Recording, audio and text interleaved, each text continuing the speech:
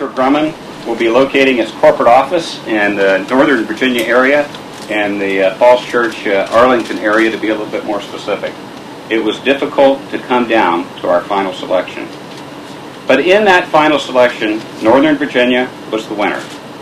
Northern Virginia has several available facilities that provide us the proximity that we need for a frequent interaction with our federal government customers.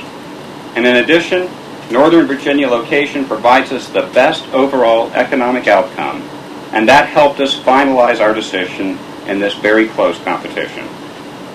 So we expect to have our new corporate office up and running by the summer of 2011, and we look forward to joining our more than 40,000 Northrop Grumman employees who are already in this area working in Virginia, Maryland, and the District of Columbia.